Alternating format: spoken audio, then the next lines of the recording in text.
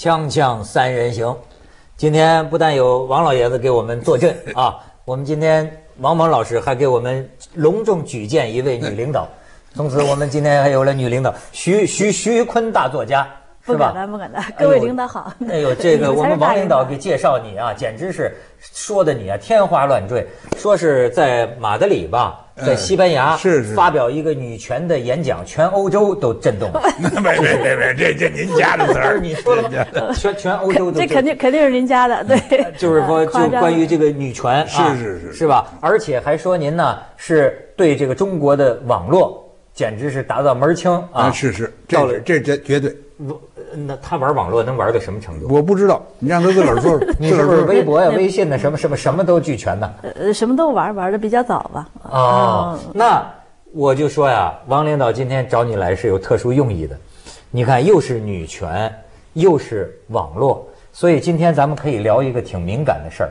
最近啊，我跟你说，我有一些官员的朋友哈，我这个人比较喜欢攀附权贵，就就 这个网络呀，哎呀，现在吓得都哆嗦了，因为呃形势哈有点诡异。一方面呢，似乎是这段时间呢，也不知道是不是有关部门有点放宽，嗯，还是什么？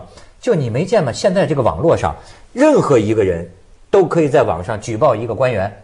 那人民群众这个是人民战争汪洋大海啊！你看湛江的那个市政府的副秘书长说二奶，当然咱们说过啊，咱不同意这种对女性歧视的称呼，不应该叫二奶。但是叫什么呢？你们作家也没发明一个不歧视的词儿，对对对是吧？就是他的另一个情人儿情人儿，你就说情人儿就完了。情人还生了孩子，有有了家那情人儿谁情人儿没说不许生孩子呀？啊。行，王老师够开放了，这不当部长以后王老师沿都放开了。沿用传统的称呼呢，哎对吧？这比较经典。你说就是说挺好听，。哎，哪怕是个邻居看见你了，嗯，夸起手机就拍下来了，拍下来在网上就，哎，他有另一个家，这按照党纪，崩灯就先给免了，对吧？或者是审查啊，然后这个带块表，这穿个鞋，这个任何一个东西，你这个人人民群众都可以把你拍下来，这你在网上见得多了吧？表叔防色儿是吧？这呃没错啊没错这个现在为什么我说有点诡异呢？就是一方面呢，每天都有这个官员因为这个被停职审查，是吧？因为现在这个这个这个领导上也很重视啊，网上只要一出事儿，胖期肯定纪委就调查你，对对对一调查十有八九跑不了，对吧？所以，但是另一方面，你注意到这几天没有？就是呃，国家级的、中央级的媒体，包括人民日报啊，还是什么，又都在发文章，呃在在就说啊，网络这个事儿啊，也得立法，呃，或者说网络这个环境啊，也不能这个谣言满天飞，这也是侵犯私人权利的这么一个地方。您说这话呀，我想起什么呀？就是当年这个德国的政治家呀，科尔 （Kohl），Mr. Kohl，他是当总理当的时间最长的了。他曾经啊，对中国的一个官员说：“他说你呀、选择了政治这一行啊，就等于被养在鱼缸里头了。真是哎，哎。”是不是？对吧哎，你那要不你别你别搞政治，是不是？哎，你那你要是想想不跟任任何人接触的，这非常容易的。那么老老百姓呢，就是要盯着你这个政治家的这个一举一动、一言一行，哎。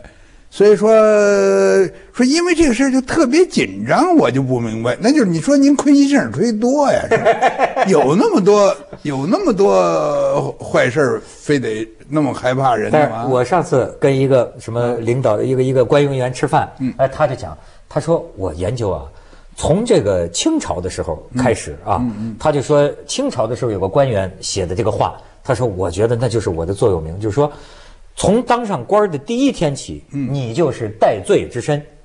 他说这就是我现在每天的感觉，因为好像有点什么呢，就是说，你不知道哪儿会出事儿。那那是你知道曾经有一个这个叫刘继鹏的一个经济学家，那天来来呢，他因为半路上给警察说了一道，就说你为什么没扎这个安全带。没扎安全带？他当时就很有感慨，他跟警察说。那旁边人都没扎安全带，你怎么就逮我呀？那警察说：“哎，对了，我就一天就逮一个人，就把你逮了。”所以他有个什么感慨啊？他说，在咱们这个社会里有个什么现象啊？违法普遍。你要是较真儿的话，就比如说你扎安全带，按说这没扎安全带的都算犯法的话，那事实上你已经很普遍，于是就变成呢，逮谁就是谁。我就是怎怎么理解这个问题啊？我我总结过，我觉得网络上啊，这起了很好的作用。嗯，起码它有，呃，多了一个让他给他晒太阳的机会。对，是吧？人家有一个说法嘛，说罪恶止于阳光嘛。我给你一晒太阳，很多罪恶就给他压住了，起码他他还紧张了，他害怕了。对，这是好的一面。但是呢，我不知道徐坤你有没有这感觉？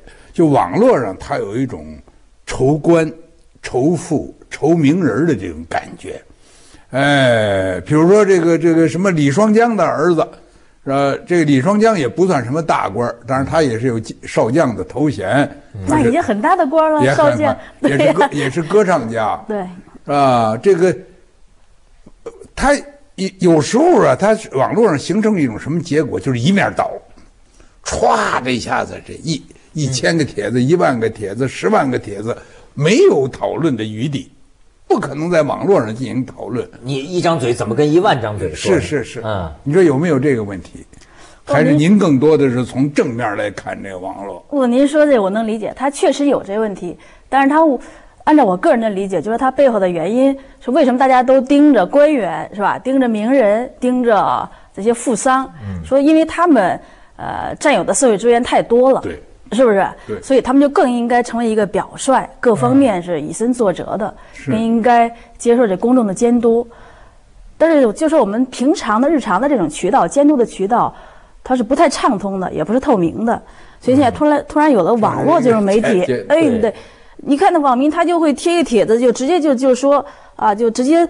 写一封信致那个纪委书记王生山书记，然后咵下边就举报谁谁谁，他觉得他可以直接通天一步能能达到，呃达到顶层的，这这有趣的现象。所以王老师说这个女权呢还挺有意思，他还有一个观察角度很好玩啊。哎，王老师算是特别尊重女性的那种，相当尊敬，是吧？这个这个咱们女权主义分子要说话要要要可可以做鉴定啊。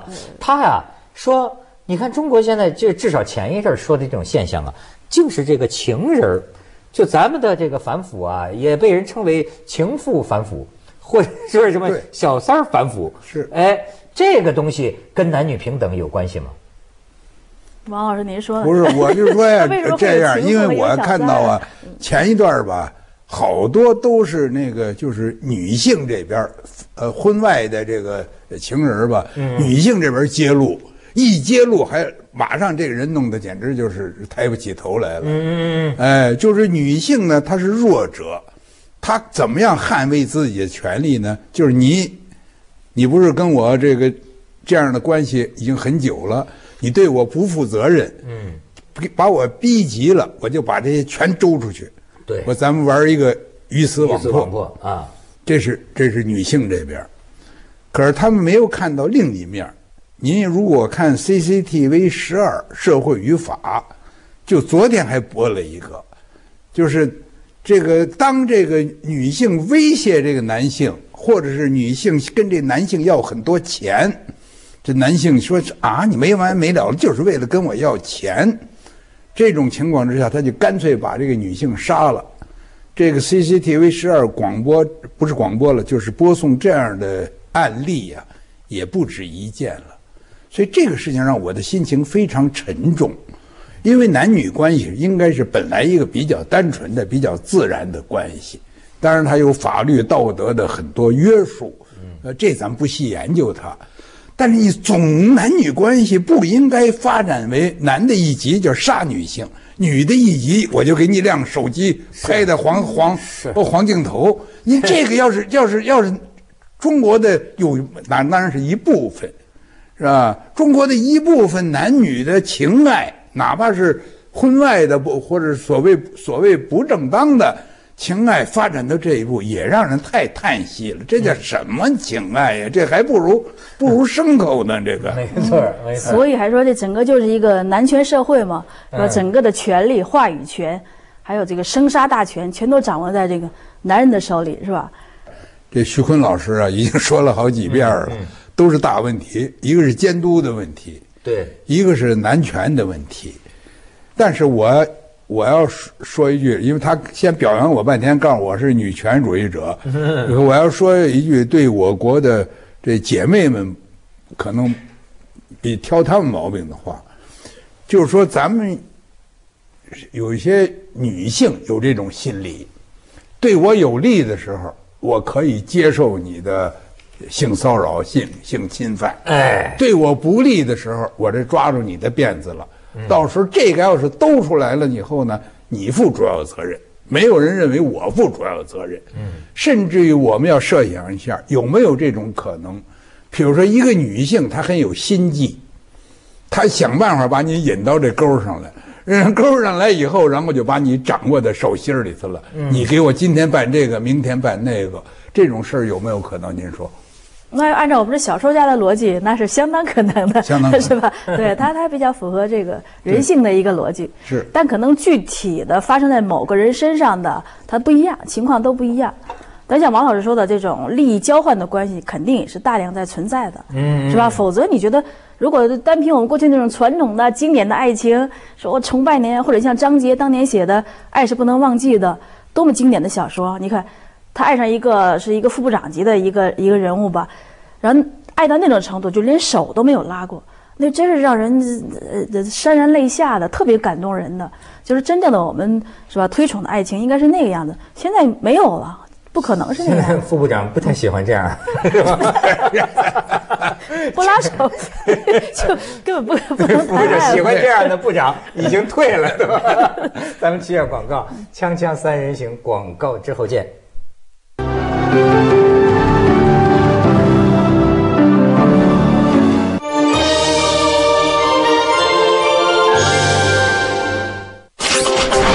全新法治节目，欢迎收看《社会正能量》。真诚探讨，他们是真的用心在做事情。理性建言，最需要我们的时候，实际上已经到来了。邀您一起构筑当代公共话语空间。民生银行信用卡社会正能量，星期六开始，凤凰卫视中文台。品九韵古法，配桃花春曲，采无极之水，汇原酒精华，年份原浆，古井贡酒，沉浸于山水。之间，享受三千年玉温泉文化。西安临潼国家旅游休闲度假区。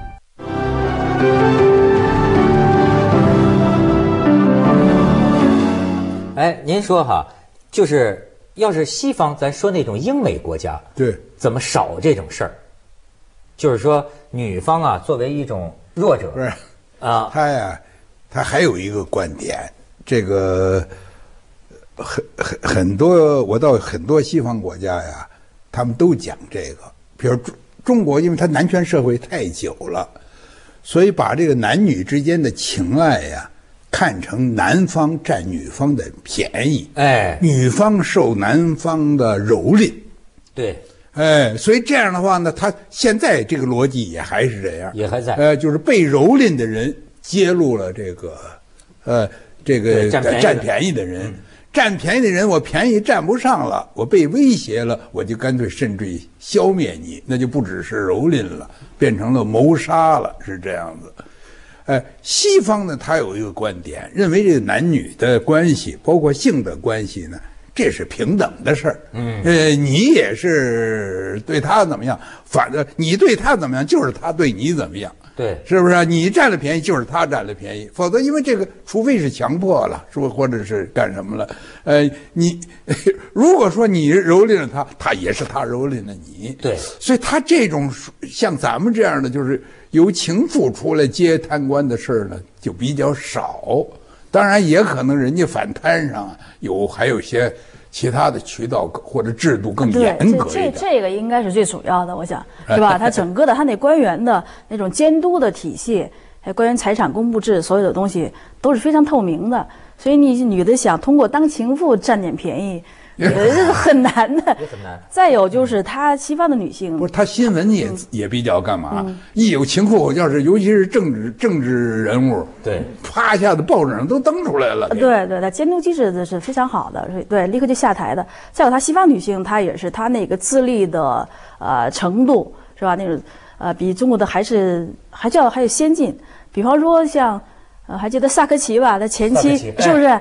你看都知道他要当总统了，那就不尿你，我该离婚还是离婚。对这要是一般的棒了，这真太棒了，太我不 当这第一夫人，很第一夫人令人佩服我当第一夫人，我管什么事儿呢？是不是啊？对，一般人做不出来吧？这种啊，你就觉得这挺挺令人佩服的。要咱叫咱中国就叫高风亮节了。高高可是实际上对人家来说只是个个性，我不喜欢，我不喜欢，我不喜这这是欢是什么？这本来是私人的事情。对，或者说呢，他也没觉得这玩意儿能捞到什么除了虚荣心之外的便宜。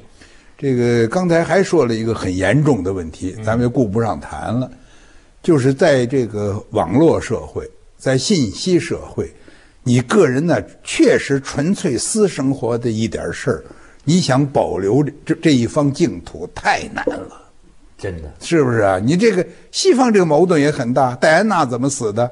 对，他这狗仔队儿，或者他他反过来是他另一面的问题，他不是说限制你不允许你报道，而是弄一堆狗仔队儿让你活不下去，他最后把你活活的逼死。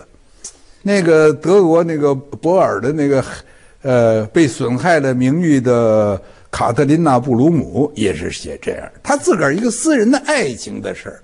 他是一个保姆，是一个家里的保姆，就被这个记记者呀包围的呀，就就就就就就活不了。最后逼的这个保姆买了一个手枪，对把这记者梆梆梆梆，我我放枪了。他写这么一个故事，所以这个新闻自由要是发展到那一步，也很可怕。没错。你看那个就是那个英国倒闭的那个小报，那那那个报纸《啊那报世界新闻报他他为了追他哎，他这个过程很有意思啊，就是最开头的时候，他这个偷拍、窃听这种手段也用，但是呢，他就是名人。弄名人，那个时候老百姓觉得无所谓，因为名人就是跟像狗仔队一样，拍你就拍你了。就应该了，是吧？对，但是就没想到，还真的就是你不为他说话呀、他这个手段会发展，最后发展下去，他开始窃听平民，比如说在一起案件当中受害的那个受害人，他窃听他的电话，然后最后一发展到成千上万的这种平民的电话和呃邮件都被他窃听，就最最最后导致一百多年历史这个报纸就倒就倒闭嘛。哎，这东西我你知道我是我我现在还觉得啊，我还听说一个，就是《南方人物周刊》最近发一篇文章啊，讲一个人，大家伙就说现在啊，咱不能说中国的大部分公务员啊，大概是，但是也有这么一部分吧。他说有这个公务员让他去办公室、去家里、去车里啊，他几个月啊拆出一百多个窃听器，就是说。这我看了这篇文章那个文章，对我看对这篇文章嘛，他这篇文章讲的实际现象就是说，至少有少数公务员之间搞窃听，积累你的这个黑材料。你说这这个个这个这个很可怕。这很可怕。呃，我我是不懂啊，但是现在如果谁要是安坏心啊，想窃听啊，想盗窃别人的信息啊，据说是相当容易。啊，太容易了。哎，如果他掌握一定的手段、一定的资源，那更容易了。对不光是哎网络，像那个信息、那个手机，我们的智能手机，那整个也是都都是联网的吧？嗯就所有的信息，你的通讯录、你的来往的这个短信或者其他的什么东西，那个全都可以就如实的哎被窃取了。这个还有对，就是那个是呃卖手机的地方，他也掌握你的信息。是嗯，卖房的地方更掌握你的信没息啊。呃，很多事儿，你比如说妇产医院，他也掌握一部分信息。对如果这些信息您都都拿来卖钱的话，那太可怕了。那你想想，就没有没有安全感了，生存在这个世界是上。作家啊，我觉得也挺有意思哈，就是想当年，就是呃，就没有狗仔队什么那时候，你看看这个作家，有时候写出，你比如张贤亮或者什么之类的，他写一个小说出来，他甚至是自己写自己的隐私，是。大爆自己的隐私，唯恐说的不够，对。对吧？但是这个就是文学，那时候要有微博、有博客是吧？对，到后来被别人要是给偷拍了，嗯这就是侵害侵害隐私，这也挺挺有意思。他是这样，就啊他自己写的时候，他会有选择的，是吧？来修饰啊，各种修辞，他不想知道，他不会告诉你。别人抓的那些，可能是他不愿意告诉别人的。作家他这是一个矛盾，因为咱们说起来说是应该保护别人的私密，对但是作家呢，有时候他确实很想知道别人的私密，对对对对，是不是？哎，就看他什么目的了。他不是用来呀、用这个私密本身来卖卖钱，呃，而是他通过这些私密以后呢，他来了解人生，嗯，了解人性。呃，但过去呢是你看，，这到我们今天啊，当我们比如说研究文学史的时候，有的时候反倒啊，很多当年这个作家他跟女人如何如何，他这些隐私啊，哎也都是研究他的作品很重要的哎资料。呃，但是呢，你也不知道是真是假了。所以要了解王老师的隐私哈，还是看他那些书。看完那些书，你就更不知道是真的是假的了。恋爱的季锵锵三，人行，广告之后见。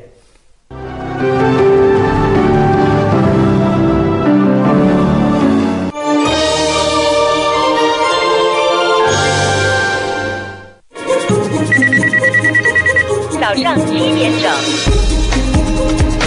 叙利亚境内冲突持续升级，道琼斯工业指数上涨九十点一三。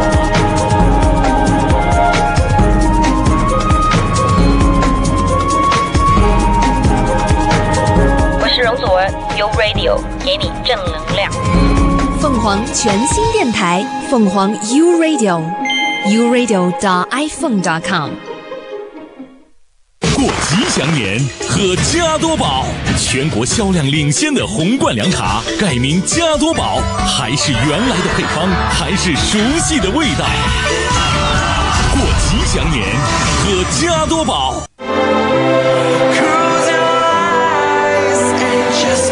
回归这片大海，发现真正的自己。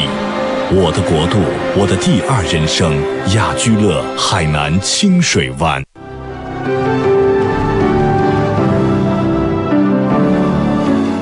那你要这么说啊，还有一种，呃，可能也有男女什么的偏见啊，就说这个女作家，咱们一般听说就说女作家是一种比较可怕的动物，哎，你看就感觉这什么意思啊？不是，就是说交女是不是刚刚看了一个女博士日记？你呃对，就觉得不就是你们这作家圈流传，就交女朋友可不敢交女作家，哪不敢不天就给你写敢教会写字儿的，对，不敢教 会写字儿。的，说哪天给你写出来。但是为什么同样的话不说男作家呢？男作家不太爱写这个，女作家爱写这个吗？那那不见得，男作家也也有一这每个人这 个是啊和性别关系不太大。嗯，嗯，这男作家也专专喜欢写私密事情的，当然也有啊。嗯嗯嗯不是没有。我不是徐坤怎么？关键是对啊，男作家写完了之后，他那个，然后被他写的女作家，她没有发言权啊，所以他就没法辩驳这是真的还是假的。嗯，然后这个女的，她会写字儿的这个，她写了十几万字的这个东西，一出来之后就会被没了，给给给 是吧？就就流流传甚广。一个流传甚广，再一个就就打压掉了，就没有了。嗯，还有这问题，这？个，哎，我这我这脑子又乱想嗯啊！我也就是自个儿跟自个儿抬杠，就是说有一些个呃偏于弱者的女性啊，真急了把这些东西都写一写呀、因为她没有别的招了。对，这个要在过去要在旧社会的话，那大家都谴责女性，认为你是这是祸水。对，是不是？你是妖孽，嗯嗯是不是？哎，需要的话需要处置他，需要把他活埋了。呃，你要现在来说吧，这女性她她，当然这我不是好办法，嗯嗯，他还可以给你弄一个鱼死网破吧，她说他把什么丑事儿都给你揭露出来，我觉得对有些男人来说也不冤，他欠这一手。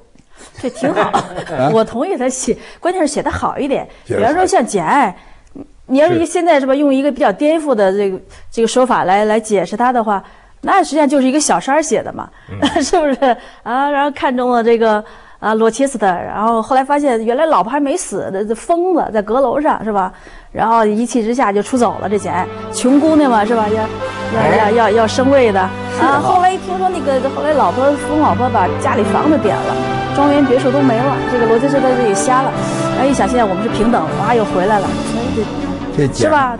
简爱啊是世界名著，世界名著啊，对。简爱呢还是接着下来为您播出《西安楼冠文明启示录非》。常反感，我很怀疑，你不能拿一个疯的